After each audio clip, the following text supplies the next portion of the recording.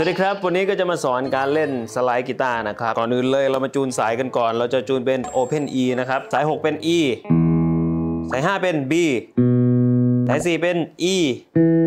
สาย 3 G sharp สาย 2 B สาย 1 E ครับ เริ่มกันเลยก่อนอื่นนะครับ เราก็หาหลอดแก้วแบบนี้ หรือว่าเป็นแท่งเหล็กอะไรก็ได้นะครับที่เป็นสไลด์แบบนี้นะครับ เทคนิคก็คือเราใช้ 2 นิ้วที่เหลือนี่นะ นิ้วมันไว้นะครับแล้วก็ทาบลงไปอ่าสำหรับใครที่ไม่มีสไลด์อันนี้นะครับ เราใช้อุปกรณ์เสริมได้ เช่น ขวดสำหรับใครที่อยากฟังเพลงเต็มๆ เดี๋ยวเล่นให้ฟัง ลุย